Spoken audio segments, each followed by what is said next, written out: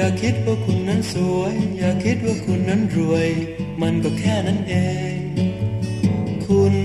เอาไปได้ก็เก่ง มันก็แค่นั้นเอง มันก็แค่นั้นเอง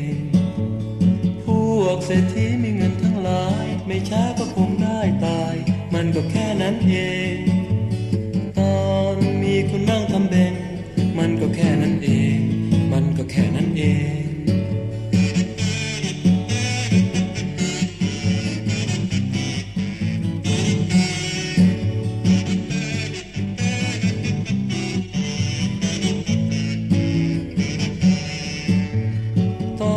นี้ผมมีหนี้สินก็เพราะเงินไม่พอกิน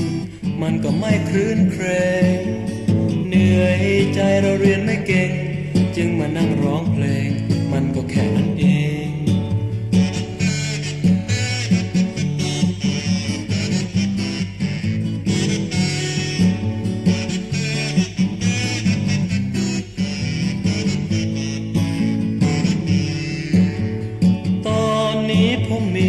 สินก็เพราะมันไม่พอกิน